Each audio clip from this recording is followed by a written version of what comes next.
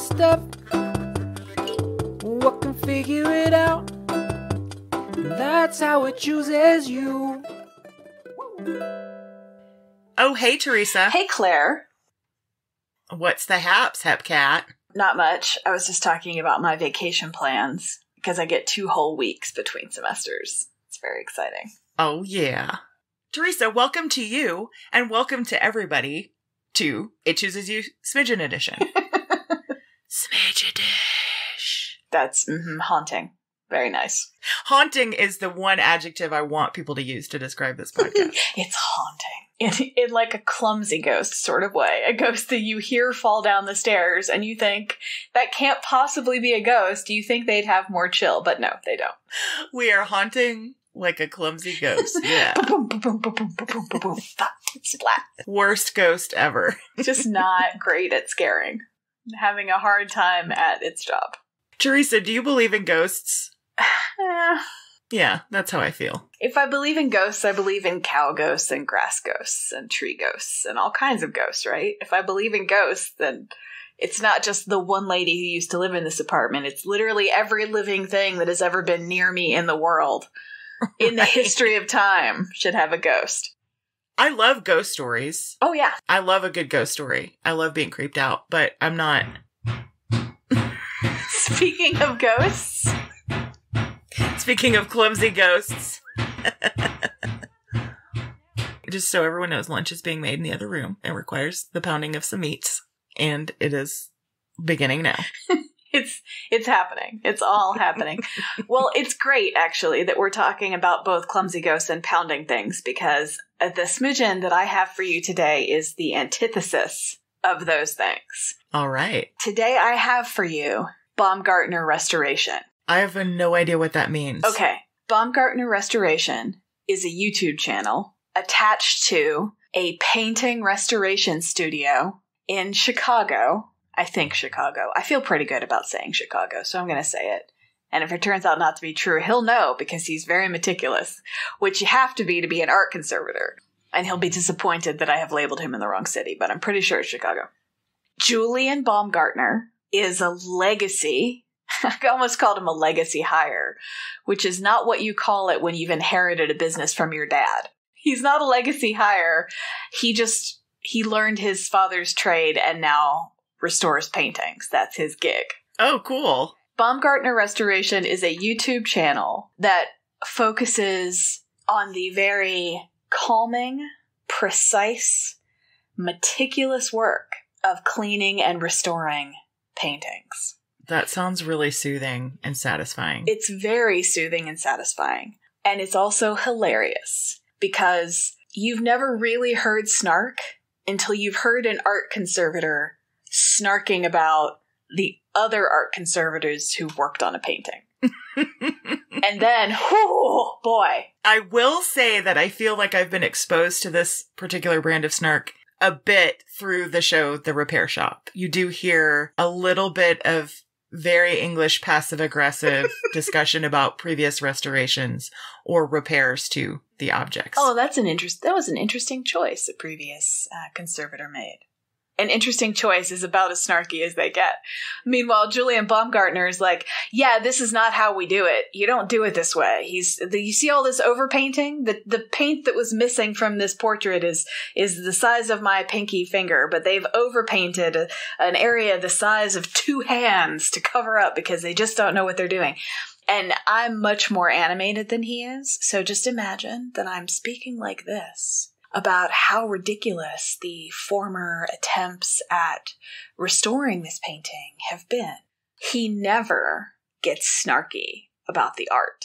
His goal is always to restore the painting to how it looked the second it was done so that we can experience what the artist wanted us to experience when we look at it. The artist said, This is done, this is how this painting looks. And now, 150 years later, it looks very different for a variety of reasons. His whole thing is being dedicated to that kind of integrity where he brings the painting back to how it looked the moment it was done. And he only casts shade on people who've done bad conservation work. He never quibbles with the artist. He's like, no, we're here to serve the artist. That seems essential to what he does. How wonderful. Yes. So he's never like, oh, this is a lesser known work from whatever. He might say that, but he's, but look at the beautiful quality of the light. And look how this shitty overpainting has ruined the quality of the light, this one section. You do have to love art to do something, dedicate yourself to a craft like that. And then he'll make a cotton. So he doesn't use, he doesn't use Q-tips from the store.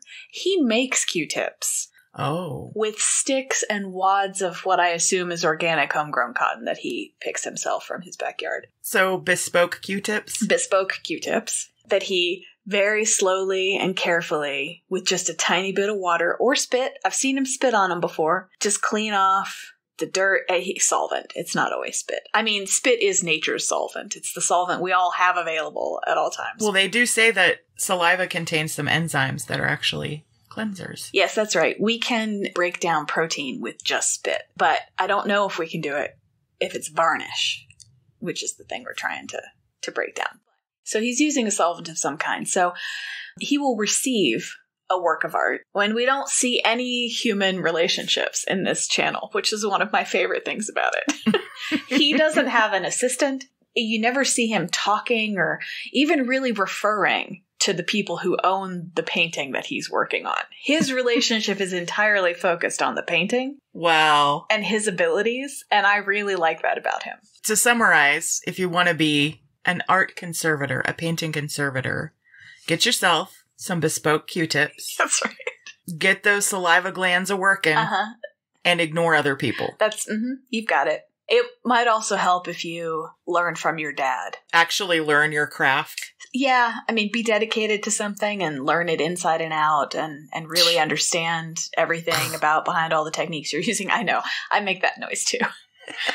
Whatever. We're not like dedicated professional people as a type. At least not in that particular way. But Julian Baumgartner is, by God, and you should watch his fucking YouTube channel. So, the other great thing, I'm assuming that, and it's not fair at all to assume this, but I'm going to tell you that I was assuming if I said restore a painting, that you would have like a four or five step list of things you know need to happen to that painting for it to be restored, which is really not fair of me. I guess what I'll do is I'll just say every painting comes in dirty. Most paintings come in damaged, meaning the canvas itself has been torn or smushed or something has happened. And a lot of paintings come in with bad previous conservator work.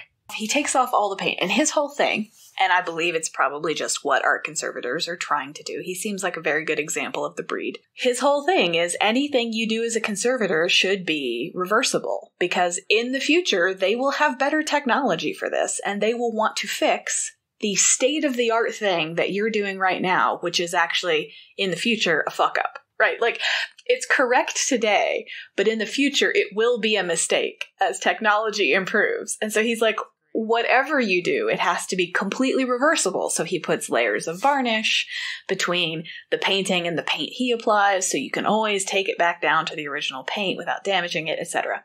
I'm not here to tell you all of the steps. I'm not training you to be an art conservator. I know that's probably why you're here this week, and I'm sorry, it's just not going to happen. I know we titled this episode Training You to Be an Art Conservator, but unfortunately, that's not what I'm going to be able to do. But I am here to tell you that spending 25 or 30 minutes watching this man clean, repaint, reattach to a new tacking edge, he puts tacks in his mouth and spits them out one at a time when he retacks a painting to the thing. I mean, that's maybe my favorite part of the whole thing is he'll be having all of these very specific, like, no, it has to be at this humidity and this pressure. And he puts it on a warming table that it's at 97.6 degrees and it can't go any higher than that because this particular kind of rabbit skin glue will do this if it is. And then he just literally puts a bunch of tacks in his mouth to begin the start of that process. And the contrast between those two things is, is what charmed me originally Yeah.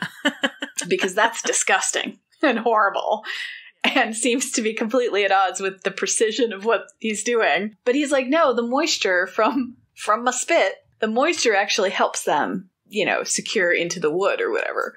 I'm like, that's fascinating and disgusting. Thank you. So, Julian Baumgartner, Baumgartner Restoration is the name of the YouTube channel. And if you want to watch someone be meticulous, which I know you and I really like because we are not We do. we are not meticulous in our daily lives necessarily.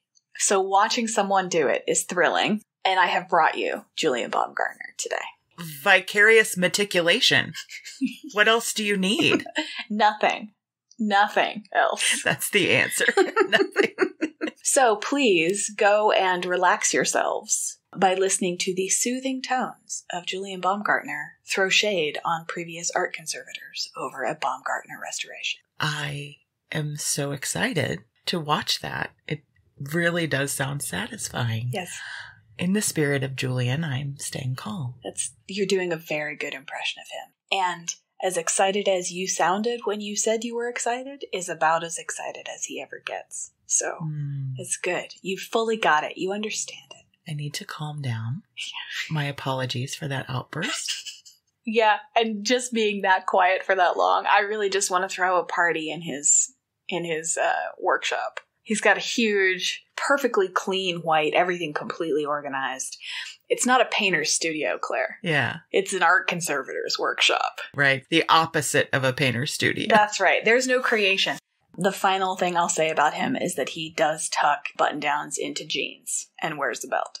So that's I think that's the final piece of what you guys need to know to uh, appreciate him. I have a picture of him in my mind and I really want to go watch it and see if it matches. That's great. We'll talk about it again.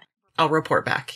That's all, Claire. Thank you so much. Thank you all so much for listening to It Chooses You Smidgen Edition. Please like, subscribe, and most importantly, download the podcast to show your support. Again, this has been It Chooses You, and we'll talk to you next time. Goodbye. Testing? Great. Thank you for listening to It Chooses You. Your hosts are Teresa Sparks and Claire Patton. Our theme song is by Bobby Dart.